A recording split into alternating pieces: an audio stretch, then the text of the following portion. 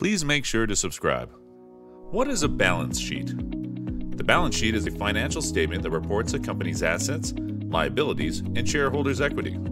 It offers a snapshot of what the business owns and what it owes, as well as the amount invested by its shareholders.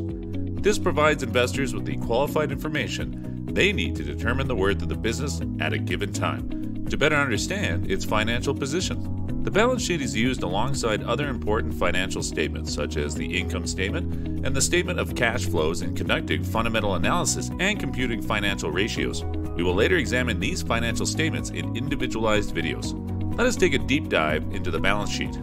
The balance sheet can be divided into three parts assets, liabilities, and stakeholders' equity, as mentioned earlier. Let us start with the assets.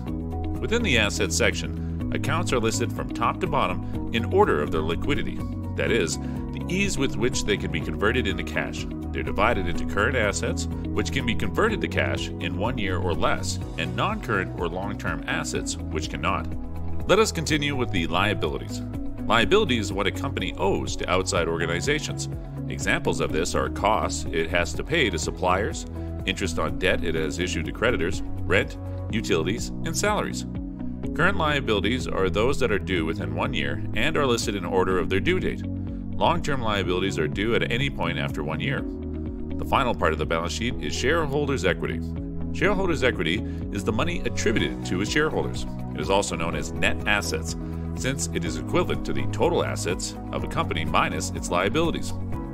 Let us take a quick look at the formula used for a balance sheet.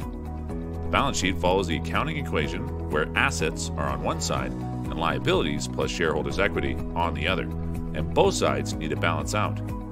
The equation is as follows assets equals liabilities plus shareholders' equity. Keep in mind that the equation has to balance. If not, it is an indicator that something is wrong. What to look for in a balance sheet.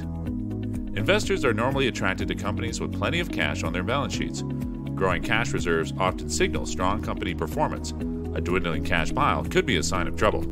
As an investor, you want to know if a company has too much money tied up in its inventory. Too much money tied up to inventory can be a red flag. Receivables are outstanding, uncollected bills. Analyzing the speed at which a company collects what it is owed can tell you a lot about its financial efficiency. If a company's collection period is growing longer, it could mean problems ahead. When debt levels are falling, that is a good sign.